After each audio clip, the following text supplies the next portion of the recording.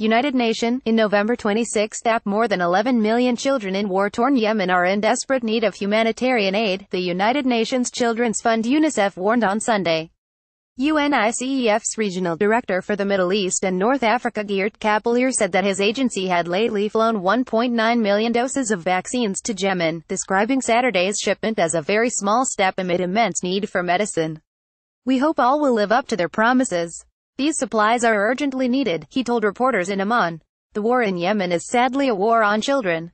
Yemen is facing the worst humanitarian crisis I have ever seen in my life, the senior UNICEF official pointed out.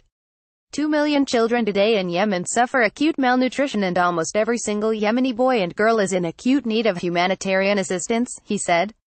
Today we estimate that every 10 minutes a child in Yemen is dying from preventable diseases.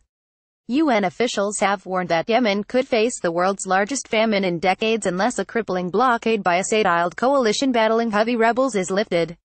The blockade, put in place after Saudi forces intercepted a missile fired by Houthi forces at Riyadh's international airport early this month, has further tightened the coalition's control on the rebel-held port of Hodeida, the main conduit for unsupervised deliveries of food and medicine.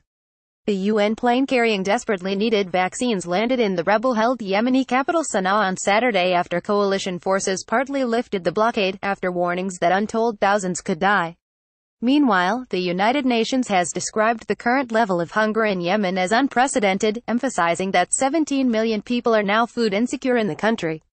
It added that 6.8 million, meaning almost one in four people, do not have enough food and rely entirely on external assistance.